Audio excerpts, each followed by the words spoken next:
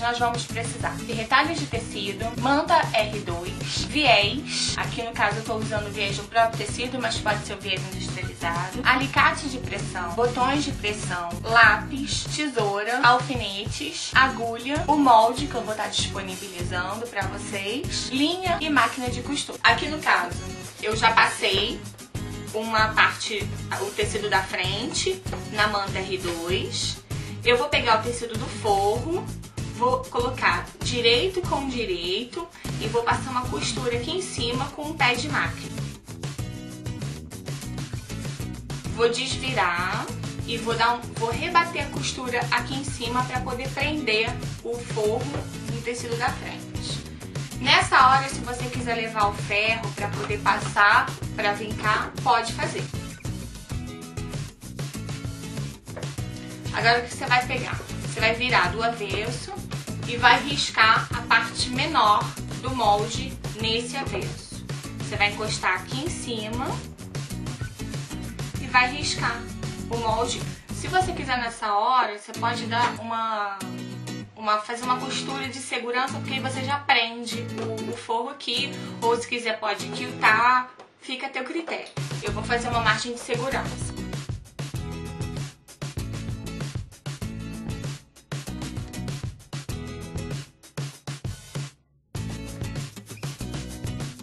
Agora o que você vai fazer? Vai pegar a outra parte, vai fazer um sanduíche com tecido, manta e o tecido. Passa para fixar a manta e alfinete. Aí você vai pegar o, o molde maior, vai colocar aqui e também vai riscar e vai fazer uma costura de segurança.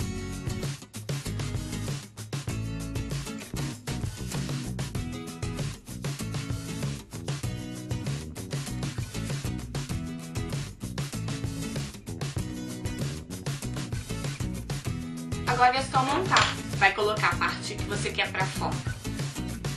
Deitado. Vai pegar a outra parte. Vai colocar aqui em cima. Vamos fazer uma costura para unir essas duas partes. Pode usar o alfinete.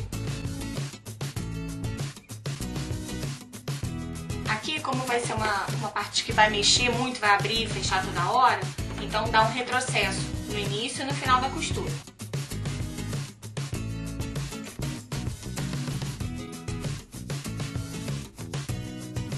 Acerta os rebarros ficou diferente aqui. E agora nós vamos pregar o viés ao redor. Nessa hora do viés, Karina, eu tenho que tirar o chapéu pra você, porque me falta um pouco de habilidade, mas eu vou chegar lá.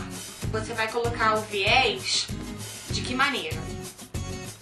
Tem gente que coloca ao contrário assim, mas eu prefiro colocar assim. Você começa o viés dessa parte aqui onde começa, onde dobra. Você dobra a primeira parte e aí você pode alfinetar em todo ao redor para poder costurar. O que, que é importante a gente colocar o alfinete de dentro para fora ou de fora para dentro para quem é canhoto. Porque se você colocar o alfinete assim,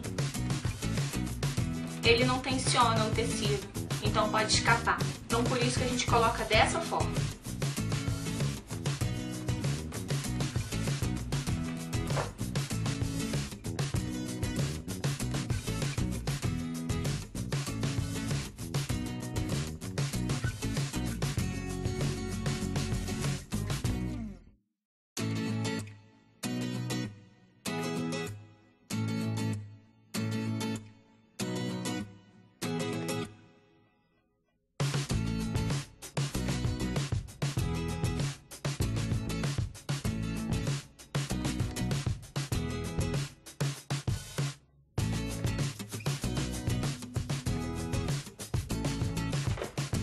Depois que a gente costurou, desvira.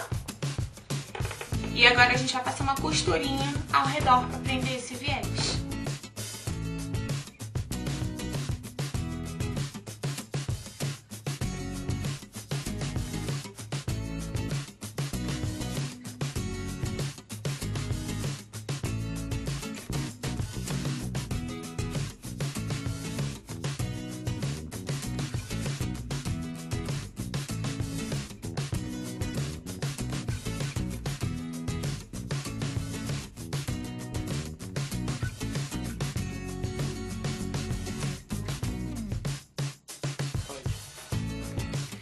E aí, ficou assim.